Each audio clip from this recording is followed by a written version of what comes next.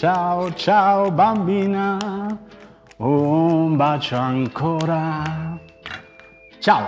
Dzisiaj robię Wam włoska, a nie francuska receptura, czyli petodana trallarancia, pierskaczki w sosie pomarańczowym. Mam tutaj świeża kaczka, natnę skóra, raz, dwa i trzy.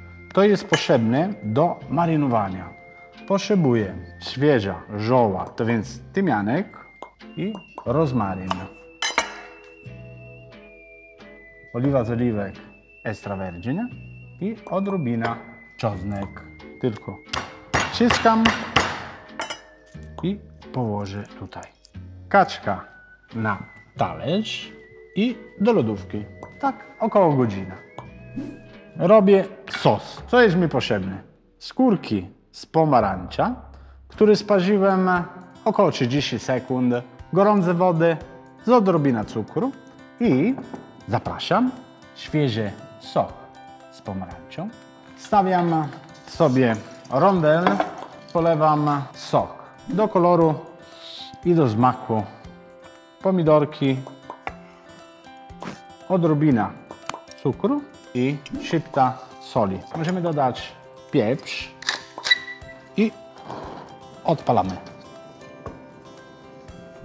Już żoła nie potrzebujemy, to więc zdejmujemy. Jedyne co mamy robić, bardzo ważne, to się robi przed zmarzeniem, to jest dosolić kaczka. Dam dużo sól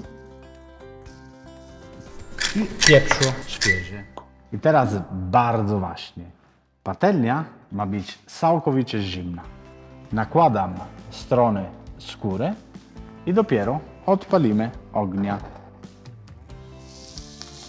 Sprawdzamy skóra, idealna. Możemy dać drugiej strony.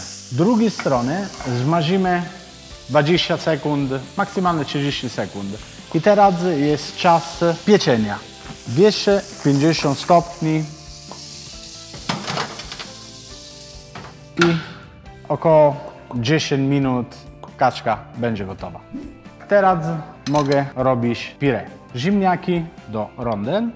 Na jedna porcja 3-4 łyżki.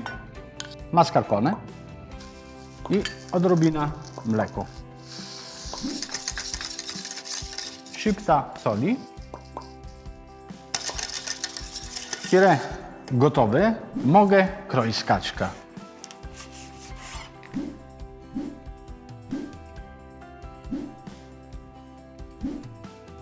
Trochę rozmaryn i zapach pomarańczy. Oto moja kaczka.